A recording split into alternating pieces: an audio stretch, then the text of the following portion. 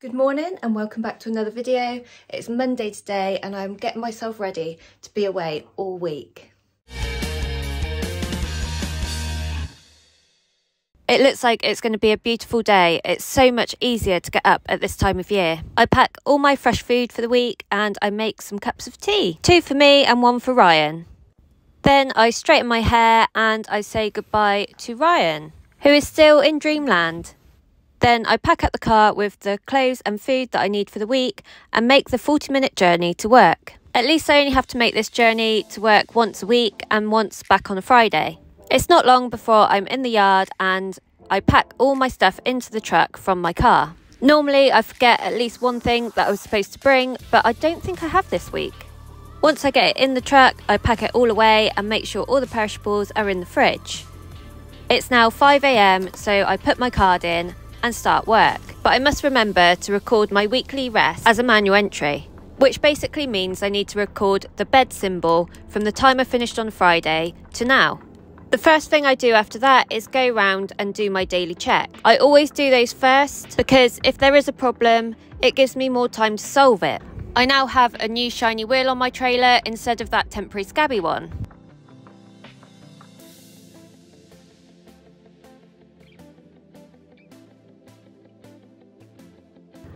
I then go on the app on my work phone to see what I'm doing today.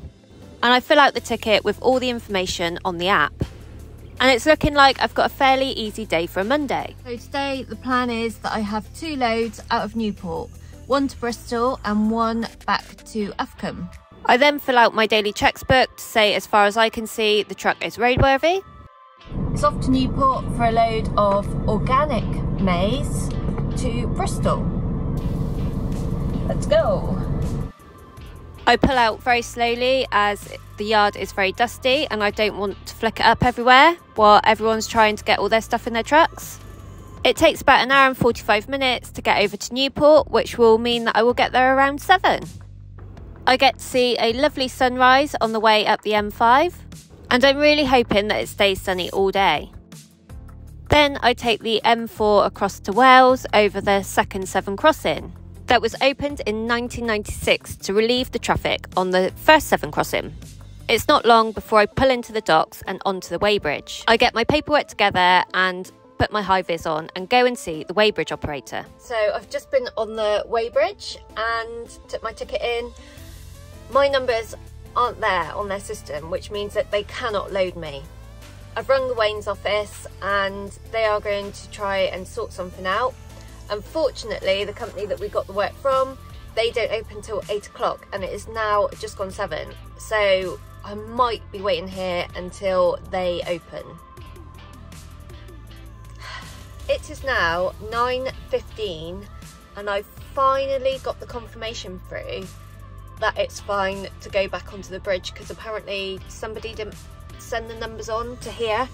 So I did have the right numbers they just didn't send them over to here because it had been brought through a few different companies and sold on to bought or sold on to a few different companies and it all just got mixed up and that's why I have sat here for two and a quarter hours. And what's annoying is that could have been two and a quarter hours longer in bed. But nevertheless, I pull back onto the weighbridge and get myself weighed in. Let's hope this works.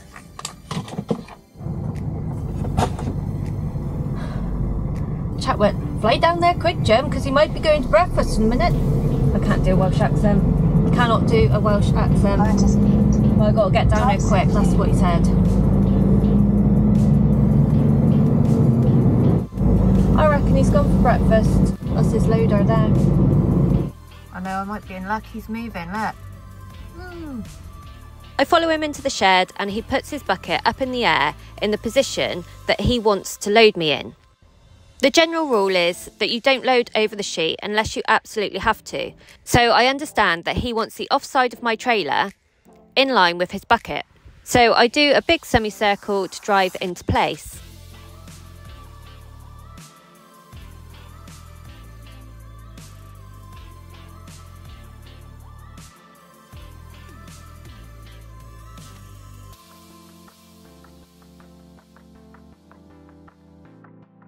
The loader that is here today is very quick, and I know it won't take him long to get me loaded. It helps that he has a big bucket on his loader, and also that he is due his tea break. When it's coming near the end, I lift my body slightly and watch my onboard weigher and just give him a little beep when I am full up. Then I will put my body down and put my sheet on whilst I'm still inside the shed and reverse back and head out of the shed and back towards the weighbridge. He certainly is keen for his tea break, but I'm so grateful that he loaded me before he went. He's off. He's off. All I need to do now is get my paperwork and I can finally get out of here. Got my organic paperwork and it's off to Portbury. Portbury. Drive safely. You're not on YouTube, you me in your truck all the time? Yeah, well I tried to, I just loaded me so it's full of dirt now. Yeah, ah, yeah. yeah. That's nice. And I would like to say a massive thank you to everybody who's given me positive comments about my channel. I am trying to reply to everybody's comments, but I'm finding it increasingly difficult with the volume of them. Although, by the looks of it, my mum has been helping me out with that, so if you get a reply from Jeanette Warren, that is my mum. It looks like somebody is just beating me onto the weighbridge as I arrive at Portbury. I just have to wait a little while for the weighbridge, that's all. I'll wait here, case somebody needs to get in there. I get myself all weighed in and Right, straight on to pit one, apparently.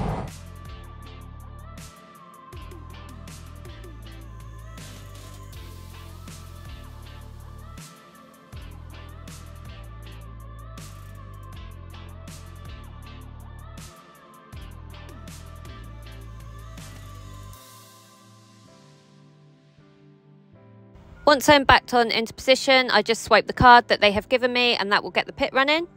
I put my grain sock on while the body is still down and then I can lift the body up. All that's left to do then is to open the grain hatch. And I'm away and tipping, as simple as that. As you can see, maize is a very dusty product. Well, that was a bit of luck, straight on the pit after the morning I've had. So now I'm gonna have some strawberries. I don't even know what the time is.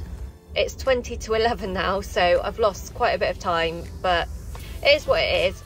Well, being straight on the pit means that I will get back to Newport before they shut, which is good. Maize only takes about half an hour to tip here, so it's not long before I'm packing everything away, opening the tailboard and letting the last little bit of grain out, and sweeping up behind me. As I'm finishing up, I just check that everything's secure and the pit's tidy, and then we can go back onto the weighbridge, where I can pick up my final ticket. Motor speed. Drive safely. Jemma, Hi, alright? how you going? Not too bad, I've just tipped. Oh, I have back to Newport. Um, is it Newport?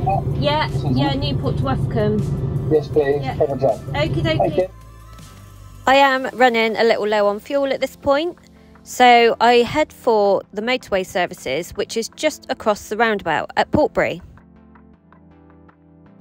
And I almost can't believe it. I am straight onto the pumps without waiting. These pumps are also quite quick, so it doesn't take me long at all. And then we're back on the road again and back over the Severn Crossing and into the docks and onto the weighbridge. And this will be the same procedure as last time, just hopefully my numbers will work straight away this time. Fingers crossed. That's me all weighed in, and like before, I just have to come down to the corner and wait for the loader. I'm not sure whether he's on break or anything because it is about half past 12. So, kind of lunchtime ish. I'm hoping that he's in loading someone else, and that's why I can't see him. Shortly after that, he appeared, and I follow him down to the shed where I loaded last time, as I'm loading the exact same product that I loaded before, which is organic maize. He knows that I know where he wants me to park, so I get into the same position that I did last time.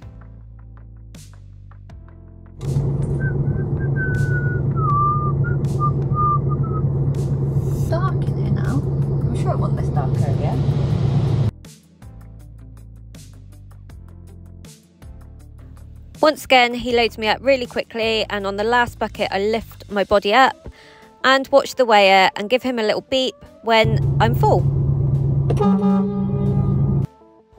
Then it's body down, sheet on, and out of the shed.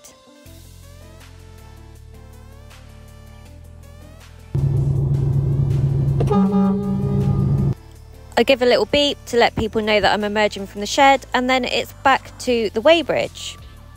There is somebody on the bridge already weighing in, so I just wait patiently until they're off and then I can drive onto the weighbridge. The couple hours that I was held up this morning is certainly turning itself around because I'm out of there in no time. From start to finish, I was probably in there a total of around 20 minutes.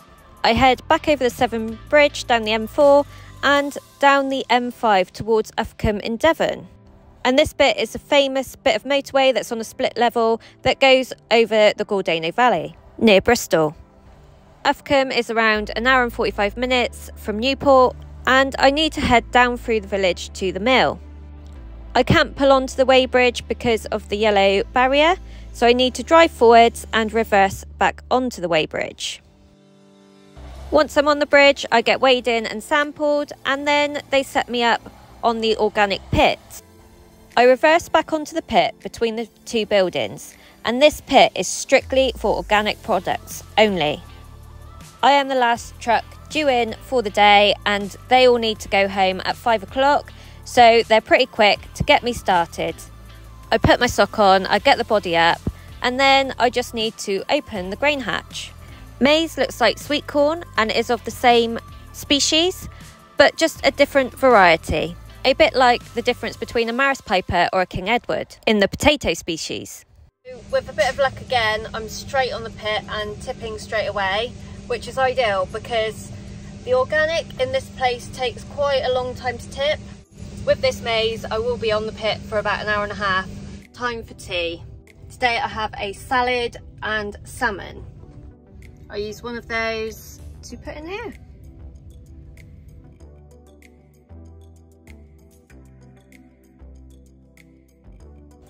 After a bit of a wait, the trailer is finally empty, and I can take the grain sock off, open the tailboard, put the sock away, lower the body down, and sweep out. I don't know if there's a reason behind this, but organic always seems to be so much dustier than um, normal.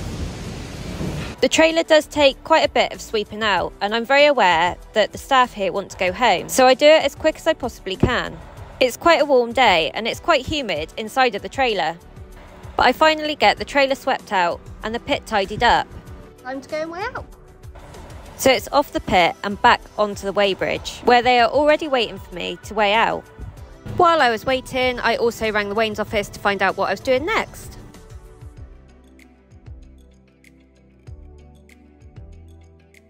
All tipped, I've got my paperwork weighed out and now I'm off to a farm in Bawdrip. And it's back up through the narrow village. At the top of the hill, there's quite a bad corner, and I'm hoping that I don't meet anything. There are quite a few buses that come through here, so some days you can be unlucky.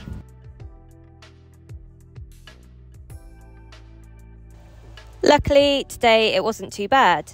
From here, I need to head north on the M5 and come off at junction 23 for Bawdrip. The farm is about an hour away from where I tipped. I've rung the farmer for directions and I'm pretty confident I know where it is. Hi, alright? Yeah. Straight down there and in into the Round left? back, yeah, just before the sharp left corner. Okie dokie. Alright, perfect, thank you.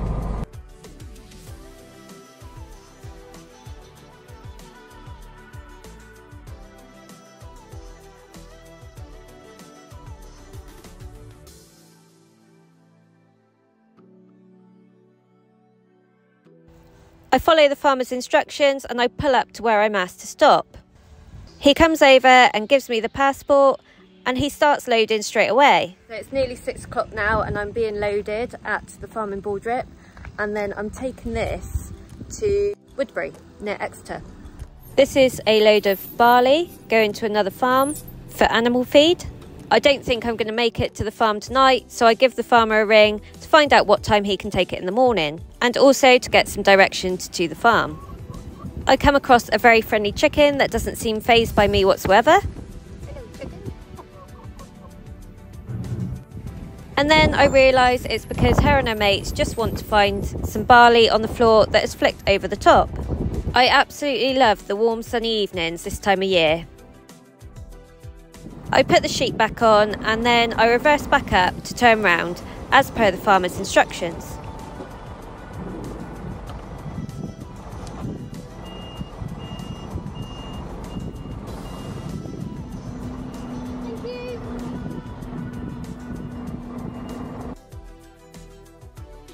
He kindly watches me back round the corner and then I just need to navigate myself back to the main roads.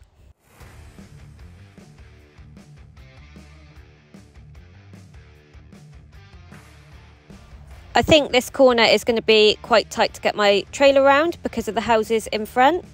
So I keep over to my left to give it as wide a swing as I possibly can.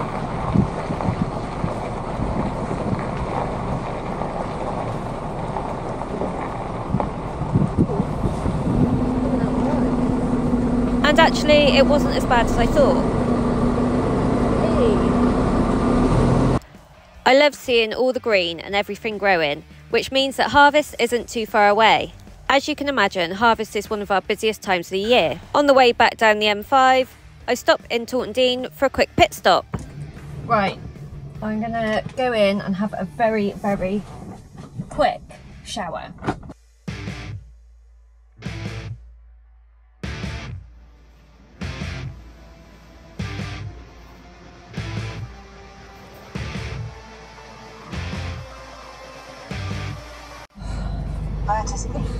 Well, Drive safely. I'm glad that's over.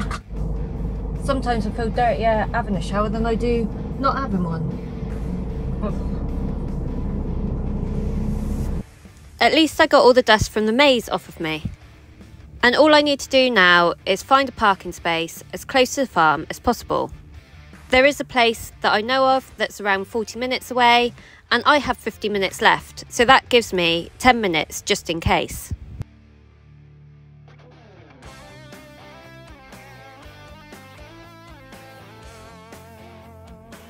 That's that, I'm all parked up. I've done just under a 15 hour day and I'm about 10 minutes away from where I need to tip tomorrow. I've rung the chap and I can tip at 6 o'clock in the morning, which is quite good because I can start about 5 half 5 ish. Hopefully I can get on tomorrow and keep the early starts and hopefully an early finish Friday, maybe.